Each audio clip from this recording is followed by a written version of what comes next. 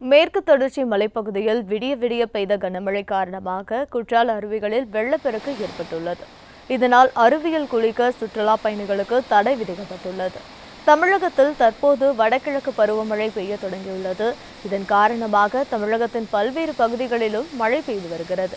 இதனிடையே நேற்று இரவு நெல்லை மாவட்டத்தை ஒட்டிய மேற்கு தொடர்ச்சி மலைப்பகுதியில் பலத்த மழை பெய்தது.